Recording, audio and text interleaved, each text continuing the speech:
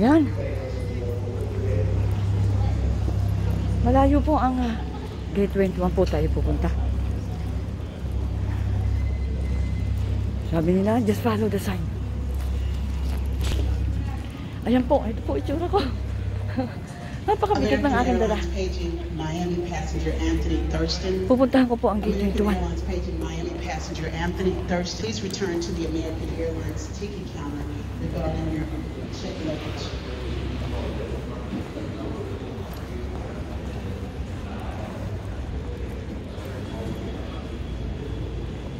Mahaba po ba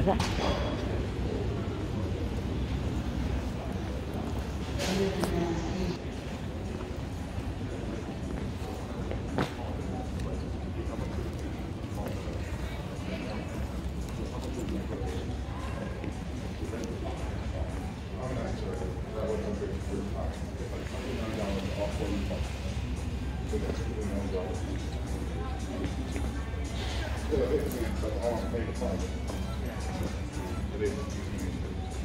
Hinihingan po ako. Tignan ko nga po yung aking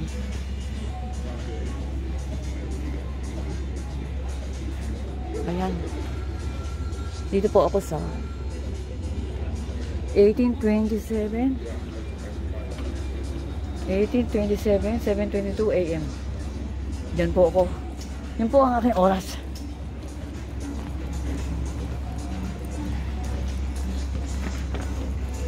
The time now is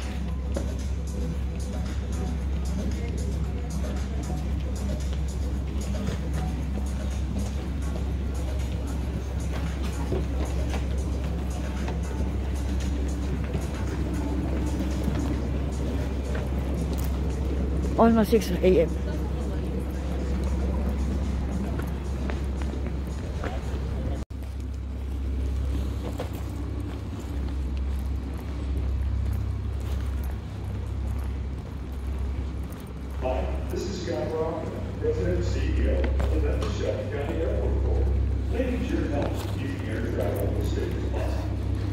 Napakalayo po pala. Hinihingal na ako. Also, never another person's baggage or packages onto an aircraft with you. And report any questionable to your employee or airport police officer. Thank you for the Board of Service Council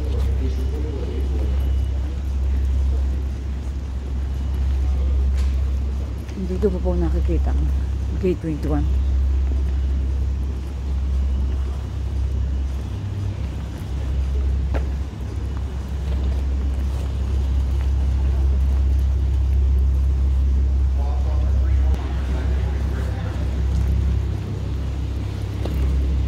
Five twenty, five twenty-seven p.m. na. A.M. Woo! Ang pigat po ng aking dala. Kailangan, ayun, nakikita ko na. Nakikita ko na po ang gate 21.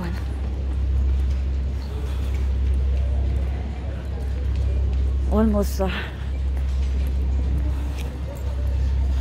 5.30 a.m.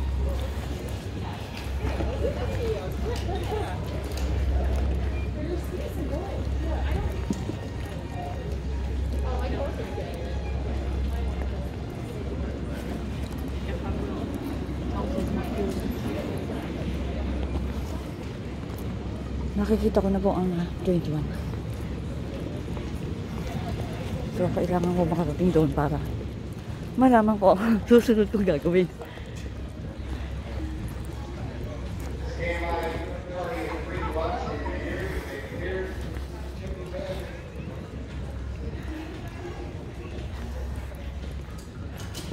Palagay ko. Kasi 7.22 a.m. pa ang ang flight. So, maybe istambay muna dito. Ayan. 21.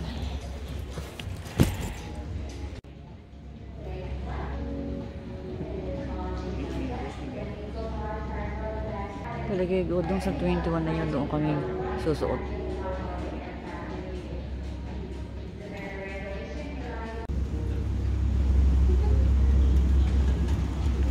Now nakapanay pa tayo. Nagpalit po ng gate ang aking flight.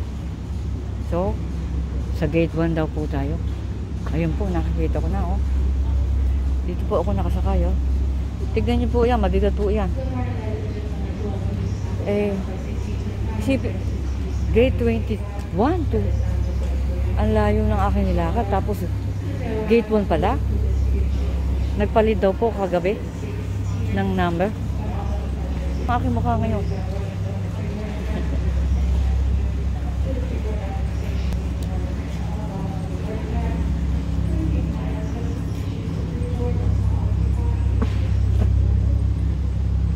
Malapit na po tayo sa gate 1. Ayan, oh. Na, gusto ko nang uh, lumibre ng aking paglalakad. Ayan, oh. Ayan, hindi naman siguro maaari yung bag ko. Ayun. Ika. Di tayo sa... Para malibre tayo ng paglalakad. Ayan. Ayan. Whew. Nakikita ko na po ang gate 1.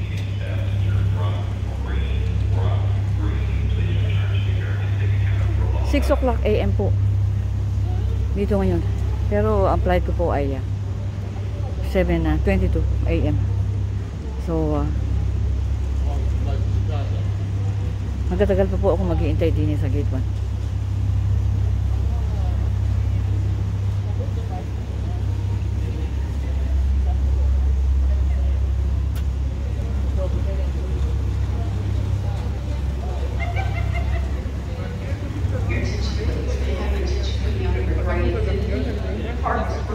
Ayan, ayan po ang gate 1. Nakikita ko na.